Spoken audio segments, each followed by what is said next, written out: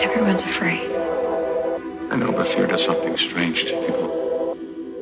But not you. Fear doesn't shut you down and wakes you up.